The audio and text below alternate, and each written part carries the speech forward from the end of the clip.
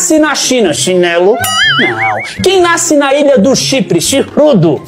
Aqui. É cipriota. Hum. E na Índia? Indiota.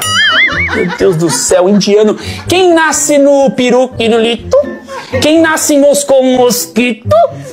Quem nasce na França? Francisco? Quem nasce nos Estados Unidos é rico. Jesus, vamos ver se ele acerta agora. Petraque, quem nasce aqui no Brasil é sofredor.